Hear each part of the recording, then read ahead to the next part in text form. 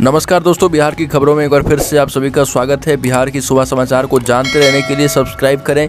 माई smart Bihar को video के नीचे दिए गए लाल बटन को दबाकर। तो आइए दोस्तों, बिना समय गवाए खबरों की ओर चलते हैं।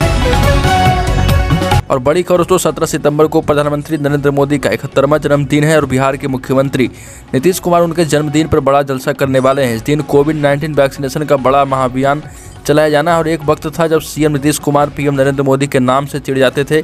मोदी के कारण ही देश ने राष्ट्रीय जनतांत्रिक गठबंधन भी छोड़ दिया था। अगली बड़ी खबर, मुजफ्फरपुर में भाजपा के राष्ट्रीय अध्यक्ष जेपी नड्डा पर मुकदमा दर्ज कराया गया है। आचार्य चंद्र किशोर परासर ने नड्डा पर तिरंगे के अपमान का आरोप लगाया और धारा एक सौ तिरपन के तहत मुजफ्फरपुर के मुख्य न्यायिक दंडाधिकारी के न्यायालय में केस दर्ज करवाया गया है। आरोप लगाया कि पूर्व मुख्यमंत्री कल्याण सिंह की मृत्यु के बाद उनके शव को तिरंगे में लपेट कर रखा गया था। इसके बाद भाजपा के झंडे को उसके ऊपर रख दिया गया। अगली बड़ी खबर, तेज प्रताप यादव की छात्र जनशक्ति परिषद ने प्रमंडल के प्रभारियों के चयन सूची जारी कर दी। इस पैड पर किनारे की तरफ़ एक हाथ का लोगो है जिसने लांटेन पकड़ी है। बता दें कि राजद का चुनाव चिन्ह लांटेन है, लेकिन वह सिर्फ़ लांटेन है और इसमें हाथ से पकड़ी हुई लालटेन दिख रही है। पैड पर प्रमंडल प्रभारियों के नामों की सूची जारी की गई है। अगली बड़ी खबर, झारखंड के मुख्यमंत्री अमृत सोरेन के भोजपुरी मगही को लेकर दिए गए विवादित बयान से बिहार में राजनीति गर्म हो गई। इस बयान पर जेडीयू, बीजेपी के नेताओं ने कड़ा इतराज़ जताया है। वहीं आरजेडी के नेताओं ने कहा कि सोरेन का दिमाग खराब हो गया। एक इंटरव्यू में सोरेन ने कहा था कि मगही और भोजपुरी रीजनल लैंग्वेज ना होकर बाहरी लैंग्वेज है। जो लोग मगही या भोजपुरी बोलते हैं, वो बहुत ही बेकार लोग होते हैं और झारखंड का बिहारीकरण कभी नहीं होने देंगे। बड़ी खबर, बिहार में खाद की किल्लत से किसान परेशान है। जगह जगह समय समय पर आंदोलन किया जा रहा। नालंदा में तो गुस्साए किसानों ने एएसआई को लाठी डंडे से पीट दिया। इसका वीडियो भी सामने आ गया। इसके बाद नेता प्रतिपक्ष तेजस्वी यादव ने खाद की किल्लत पर निशाना साधा है। अपने सोशल मीडिया अकाउंट पर वीडियो डालते हुए कहा कि बिहार में खाद की भारी किल्लत के चलते किसान आक्रोशित हैं। अगली बड़ी खबर, पटना में महज तेरह दिनों के अंदर अपराधियों ने एक बार फिर से ज्वेलरी शॉप को अपना टारगेट बनाया। दिनदाड़े ज्वेलरी शॉप में डाका डालकर अपराधियों ने छह लाख की संपत्ति पर अपना हाथ साफ़ किया। पत्रकार नगर थाना के तहत मलाही पकड़ी इलाके में डकैती की वारदात हुई है। यहाँ राजबनी ज्वेलर्स नाम की एक ज्वेलरी शॉप है। दोपहर करीब तीन बजे शॉप में मालिक राकेश और उसकी पत्नी थी। कई कोई कस्टमर नहीं था। अचानक छह की संख्या में अपराधियों ने धावा बोल दिया। अपराधियों ने अपने चेहरे को कवर कर रखा था।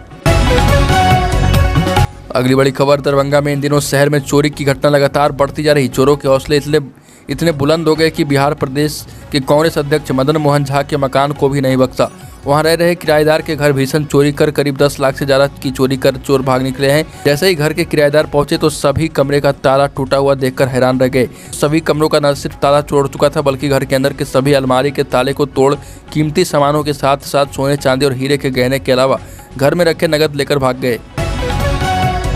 अगली बड़ी खबर, जेडीयू संसदीय बोर्ड के अध्यक्ष उपेंद्र कुशवाहा ने कहा कि पार्टी यूपी में विधानसभा चुनाव अवश्य लड़ेगी, कितनी सीटों पर लड़ेगी यह तय नहीं है, लेकिन चुनाव ज़रूर लड़ा जाएगा। कुशवाहा ने ये बातें संवाद यात्रा के क्रम में सहरसा में कही है और कहा कि एनडीए के घटक दल होने के नाते हमारी प्राथमिकता है कि हम बीजेपी के साथ चुनाव लड़ें। यदि गठबंधन नहीं होगा तो हम अपने भूते अकेले चुनाव लड़ेंगे। पार्टी को नंबर वन बनाना है और नीतीश कुमार को मज़बूत करना है। अगली बड़ी खबर, पटना सिटी में पटना साहिब ओवरब्रिज के नीचे कुरकुरे फैक्ट्री में आग लग गई। फैक्ट्री पूरी तरह से जलकर राख हो गई। मॉर्निंग वॉक कर रहे लोगों ने ओवरब्रिज के नीचे धुआँ निकलते देख पुलिस को सूचना दी। फायर ब्रिगेड की दस यूनिट छोटी बड़ी गाड़ियाँ आग पर नियंत्रण करने के लिए मौके पर पहुँची है। कड़ी मुशक्कत के बाद करीब एक घंटे में आग पर काबू पाया गया। अगली बड़ी खबर, मोतिहारी से बिहार पंचायत चुनाव को लेकर भले ही आदर्श आचार संहिता लागू हो गया है, लेकिन दबंग जनप्रतिनिधि आज भी मनमानी कर रहे हैं। उनको आचार संहिता लागू होने से कोई फ़र्क नहीं पड़ रहा।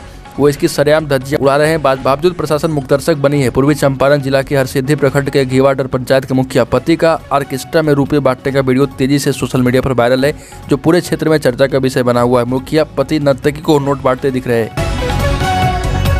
अगली बड़ी खबर एलजेपी सांसद प्रिंस राज लोजपा के सर्वे सर्वा चिराग पासवान के चचेरे भाई हैं, उन पर दिल्ली में यौन शोषण के मामले में एफआईआर दर्ज हुई। इसमें चिराग पासवान का नाम आने पर मामला गर्मा गया है और उन्होंने कहा कि मैंने पहले भी कहा था कि मुझे इस मामले की जानकारी थी। प्रिंस के साथ साथ उस लड़की को भी मैंने ही साथ में बैठा समझाने की कोशिश की थी कि वह पुलिस में इसकी शिकायत करें।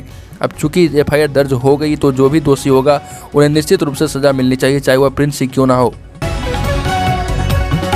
अगली खबर, छपरा से बीजेपी सांसद राजीव प्रताप रूडी फिर एंबुलेंस को लेकर चर्चा में, उनके द्वारा दी गई एंबुलेंस में मरीज़ के बदले शराब होने का मामला सामने आया है। भगवान बाज़ार थाना ने एंबुलेंस में 280 लेटेसी दारू बरामद किया है। चालक को भी गिरफ़्तार किया गया है। उसकी पहचान डोरीगंज थाना क्षेत्र के चक्के निवासी राकेश राय के रूप में की गई। सांसद विकास निधि द्वारा अनुशंसित राशि से एंबुलेंस की खरीदारी कर छपरा संसदीय क्षेत्र की पंचायतों को दिया गया था। अगली बड़ी खबर, Patna medical college and hospital में एमबीबीएस की पढ़ाई कर रहे दो स्टूडेंट्स के साथ रैंकिंग की गई है। रैंकिंग में 2019 बैच के सीनियर स्टूडेंट्स ने 2020 बैच के फ़र्स्ट ईयर के दो स्टूडेंट्स के साथ असली हरकत की। यह मामला नेशनल मेडिकल कमीशन पहुँच गया है। एमसी ने मामला दर्ज कर पटना मेडिकल कॉलेज से रिपोर्ट तलब की। घटना की जानकारी के बाद पीएमसीएच में हड़कंप मच गया। प्राचार्य डॉक्टर विद्यापति चौधरी आनंद फरान में एंटी रैंकिंग कमेटी की बैठक बुलाकर मामले की जाँच शुरू कर दी है। अगली बड़ी खबर, तेज प्रताप यादव द्वारा बनाए गए छात्र जनशक्ति परिषद की ज़रूरत क्या है और संगठन के भविष्य की रूपरेखा क्या होगी? इसका पूरा खाका बनाकर राजद के राष्ट्रीय अध्यक्ष लालू प्रसाद यादव के पास भेजा गया है। जानकारी है कि लालू प्रसाद से इस संगठन को चलाने की अनुमति मांगी गई। यह परिषद छात्र राजद से बिल्कुल अलग इस मायने में है। इसमें सिर्फ़ छात्र ही नहीं, बल्कि शिक्षक और विभिन्न क्षेत्रों से जुड़े प्रोफेशनल भी मौजूद होंगे। तेज प्रताप यादव वृंदावन में राधाष्टमी मनाने के बाद दिल्ली जाकर अपने पिता और राजद सुप्रीमो लालू प्रसाद से भी मिलेंगे। तो दोस्तों, बिहार की खबरों में वही के लिए इतना ही। अगर आपने अब तक इस चैनल को सब्सक्राइब नहीं करो सब्सक्राइब कर लें, जिससे आपको बिहार की डेली ब्रेकिंग न्यूज़, पच्चीस ताज़ा खबर एक सौ मिलती रहे।